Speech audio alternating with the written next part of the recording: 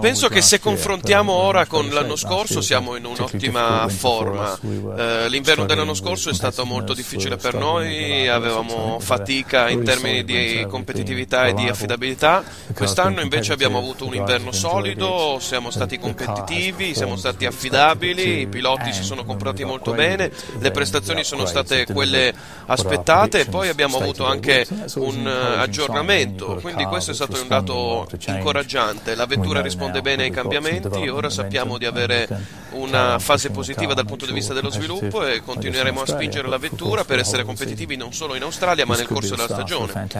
Questo potrebbe essere l'inizio di una stagione fantastica in cui potremo vincere gare e campionati, ma potrebbe anche essere un anno molto difficile, chi lo sa. Finché non si entra dentro la stagione non si può eh, in maniera eh, confidente eh, prevedere come andrà. L'anno scorso eh, come, in, in diver- come, per decenni insomma, abbiamo cercato di migliorare, eh, però non sapremo finché insomma, fino alle prime gare come sarà veramente la situazione. Siamo sicuramente molto emozionati, non vediamo l'ora di, di vedere come possiamo progredire.